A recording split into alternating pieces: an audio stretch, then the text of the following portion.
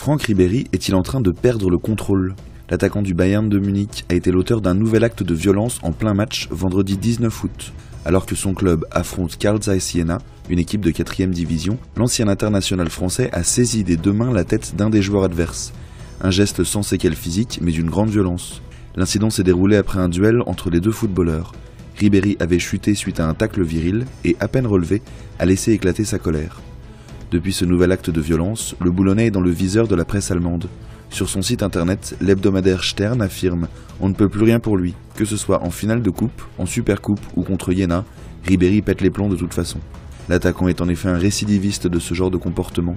Cinq jours avant l'événement, il avait été l'auteur d'un vilain coup de coude adressé à Félix Paslak lors de la Supercoupe d'Allemagne contre Dortmund. Une attitude qui lui a valu les remontrances de son capitaine Philippe Lam et de son entraîneur Carlo Ancelotti.